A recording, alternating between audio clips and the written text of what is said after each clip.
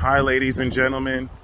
Um, I feel like given the recent movements that have really, you know, exploded during this period, um, I think it's about time I come out the closet. And I've been a heterosexual male my whole life. And, you know, um, I realized with with all these people coming out, I should come out too. And I just wanted to to pretty much seal the deal. I'm super straight, y'all. I'm not really just heterosexual. I'm a super straight male uh, or cisgender male.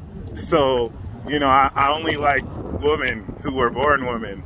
And, you know, I would really hope that you all respect my sexuality and um, you appreciate my uh, need to live this out and and hopefully you're just not straight phobic. If you if you have anything against me being super straight if you if you think that I'm wrong for being super straight if you can't respect my sexuality you're straight phobic. And we don't need to leave this example behind for children. So I'm sharing this story if anyone else wants to come out.